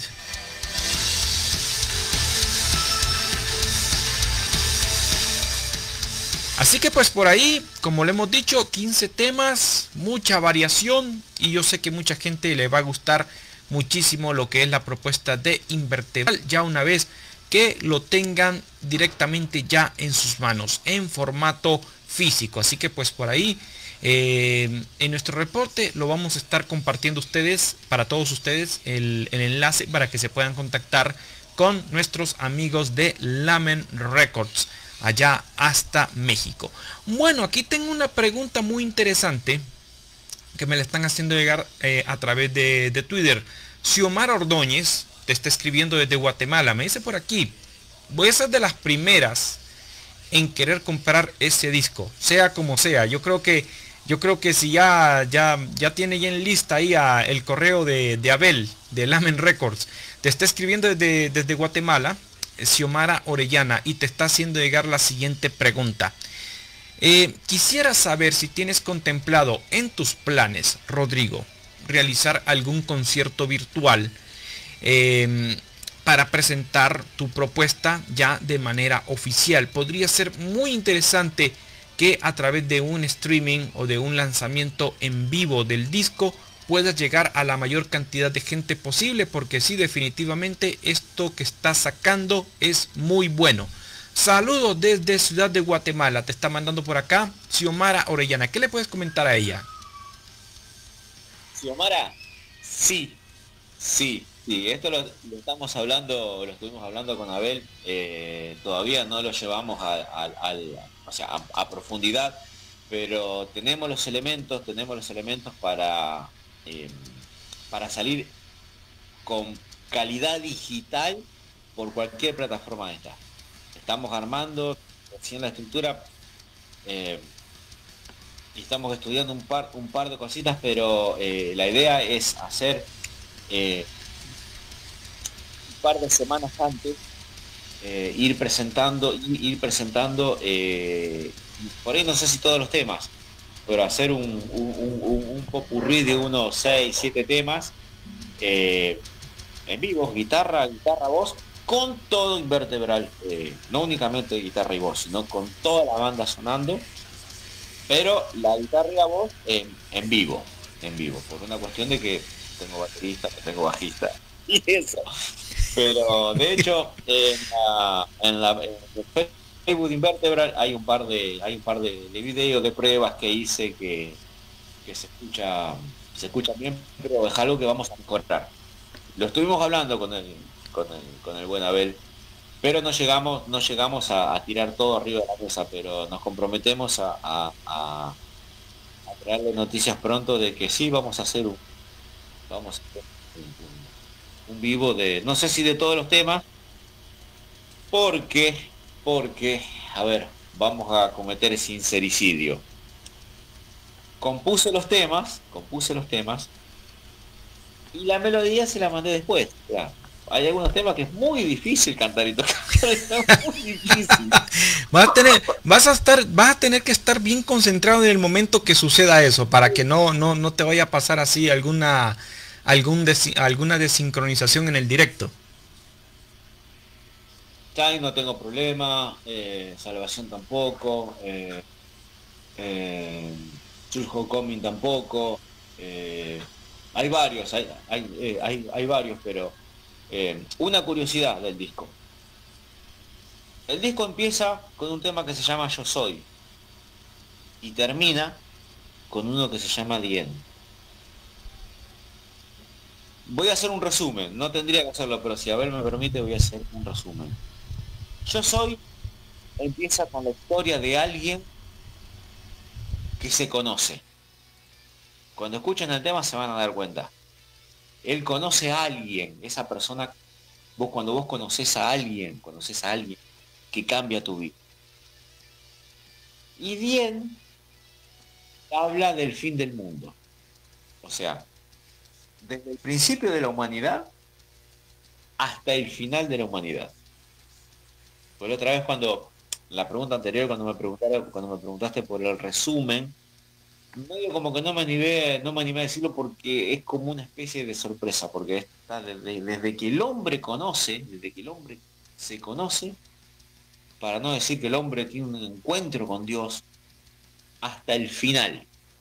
Por eso el último, el, último tema habla, habla sobre, sobre el final, sobre que no va a haber más daño, que no va a haber más mal, eh, eh, el mal va a estar erradicado y vamos a estar viviendo los que quedemos o los que queden eh, de alguna manera de alguna manera en paz y armonía para no entrar en detalles pero básicamente el, el principio y el final del disco es eso. Después en el medio todos los problemas que tenemos todo el mundo básicamente es eso pero sí eh, la idea es hacer este, eh, hacer este, eh, un en vivo, lo mejor, lo mejor, pero con un sonido con, con, una cali, con una calidad superior, con una calidad superior, con un sonido digital, digital para que lo puedas escuchar de tu celular con un formato CD, con sonido de, de CD.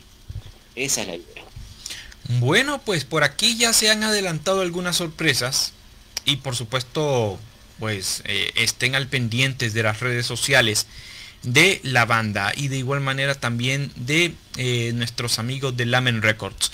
Bueno, saludos a Cristian Jorge Fernández, Cristian José Fernández, perdón, ya estoy metiéndome con Jorge. Bueno, aquí ya mi mente la tengo un poco la tengo un poco así dividida porque pues como ustedes saben amigos pues me está aquí en, en mi sala aquí tengo que estar revisando que el streaming funcione bien que el video funcione bien, de que el audio funcione bien y que el video pues esté corriendo muy bien. Así que me manejo aquí particionado. Mis disculpas, Cristian. Eh, pues Cristian José Fernández te está escribiendo acá desde Tegucigalpa y dice por aquí, felicitaciones para ustedes dos. Interesante programa, interesante entrevista. Eh, por cierto, pues a la expectativa de lo que se pueda lanzar ya próximamente por parte de Invertebral. Y definitivamente Lamen Records está haciendo una apuesta muy buena con esta interesante banda. Bueno, saludos para aquí para Miriam Romero, que me está escuchando también desde la zona central de Honduras, aquí en Comayagua. Dice por aquí, muy buenas noches. Linda noche, muchísimas gracias Miriam. Disfrutando del programa aquí y conociendo bandas muy bandas nuevas como Invertebral, lo que me está comentando por acá Miriam. Imagínate, hay, hay gente que ya está con, solo están esperando de que Abel suelte el pistoletazo de salida con el disco y que la gente ya lo vaya a comprar de manera, de manera masiva. Gracias Miriam, gracias, gracias, gracias, gracias. Es más, eh, estamos preparando tal vez algún tema promoción, alguna, alguna otra. Eh, de hecho, estoy, sigo componiendo, sigo, sigo creando temas, ya tengo cuatro, cuatro estructuras de lo que va a ser. cuando si sacamos otro disco. Pero eh, ahora me ahora me quedé picando el tema de hacer un streaming. Estoy, estoy compromiso, viste, de. ya. quiero que se me vaya la tos. Primero quiero que se me vaya la tos. Eh, un, poco de agua, por favor.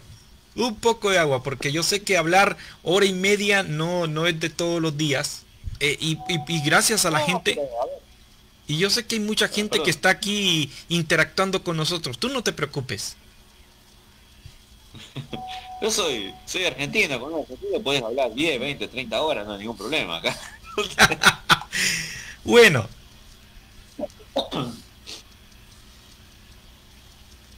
Quiero agradecerles a todos. Quiero agradecerles a todos. Conectaron, los que escucho que tengan mensajes, eh, les agradezco, pero estoy en deuda. Estoy en deuda. Bueno, pues aquí mucha gente está pues eh, interesada y por supuesto esperemos de que ese interés, amigos, eh, se ha materializado con la compra del el disco de Invertebral. Se los digo, se los recomiendo bastante eh, el debut y, yo sé de que van a haber sorpresas muy interesantes por parte de Rodrigo ya una vez de que... Ah, vamos a ver, ¿qué me están comentando por acá? Oh, bueno, ya más adelante por aquí, Miriam, no te preocupes, muchísimas gracias. Ya por ahí ya te voy a hacer pasar de manera interna lo que es el enlace de eh, este trabajo discográfico. Bueno, de lo que es de Lament, así para que tú vayas conociendo a la banda en, su canal de YouTube. Así que te agradezco muchísimo. Bueno, aquí me están haciendo llegar una, una interesante pregunta. Gerardo Bonilla te está escribiendo por acá desde Nicaragua. Y dice por aquí, saludos para Rodrigo, muy buenas noches.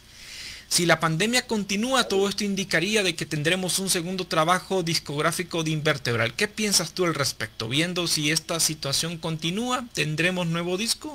¿Más ideas? Continúe o no continúe, vamos a seguir porque es lo que hice siempre. Eh, toda mi vida toqué, grabé, compuse, eh, indistintamente si haya o no pandemia, eh, Invertebral va a seguir. Vamos a seguir eh, vamos a seguir componiendo, vamos a seguir haciendo videos, o sea, lo que, lo que tengamos, mientras tengamos la capacidad, lo vamos a seguir, lo vamos a seguir haciendo. Mientras, mientras Dios me siga dando vida, voy a seguir tocando, voy a seguir grabando, voy a seguir de la manera que sea, teniendo equipo, no teniendo equipo, lo, de alguna manera, de alguna manera lo voy a hacer. Así que mm, por eso decía que ya tengo cuatro estructuras de lo que va a ser seguramente eh, el año que viene. Vamos a ver cómo viene este primer disco. Pero material, hay material de sobra. Bueno, pues ya escuchaste por acá. Vamos a ver. Gerardo, muchísimas gracias. Pues ya aquí tu pregunta ya está respondida. Así que al menos las sorpresas están eh, no es que estamos hablando de una incógnita, al menos pues hay material que por ahí va a estar siendo, va, va a ser pulido más adelante ya una vez de que ya el disco ya esté lanzado. Así que al menos pues Rodrigo va a tener mucha actividad mental ahí en su estudio para estar preparando ideas nuevas de lo que posiblemente sea ya un segundo trabajo. Pero como lo hemos dicho, eh, el punto es de que ustedes están cordialmente invitados para que disfruten de este interesante debut que va a estar saliendo ya en breve eh, a través de Lamen Records. Así que les agradezco muchísimo y por supuesto eh, las gracias por el tiempo que nos han dado acá en la debida escucha para conocer eh, esta propuesta muy interesante que se está formando allá en Argentina. Rodrigo, ¿qué mensaje deseas enviar a la gente que nos ha estado viendo por acá? en el streaming, los que nos están siguiendo a través del audio, que te han estado mandando mensajes, preguntas, saludos, muy buenos comentarios porque todo esto indica de que ya Invertebral está dando ya un paso muy, muy interesante en su historia. Y de paso, pues deseo agradecerte nuevamente por el tiempo que nos has conseguido aquí en platicar eh, en esta transmisión aquí en Conexión Rock Radio. Una hora y cuarenta y no hemos sentido para nada el tiempo porque la gente ha estado aquí eh, interesada en, conocer más de, tu, de tu propuesta. Bueno, primero, eh, el agradecido soy yo eternamente. Segundo, dos cosas voy a decir. Primero, Dios los ama a todos. Segundo, hagan lo que hagan, sean músicos, sean artistas, sean pintores, sean cocineros, sean mecánicos, sean lo que sean, sean originales. Busquen ser originales. Busquen su botón que, dice único, porque somos únicos, somos únicos, lo que pasa es que no todos quieren ser únicos. Sean, sean únicos, déjense la barba, la barba, uh, mira mirá, mirá mis canas, suéltese en el pelo. Cuando todos pinten rojo, ustedes pinten de color verde. Cuando todos cocinen dulce, ustedes cocinen salado. Sean originales, sean ustedes mismos. Llegar o no llegar es un detalle. Llegar o no llegar es un detalle. Vender un disco o no vender un disco es un detalle. vender 100 copias, vender una, no vender ninguna es un detalle. El tema es mostrarse. Sean originales. Sean originales. Cuídense. Se cuidan tomen todas las precauciones que tengan que tomar y no se olviden, y no se olviden de ser felices.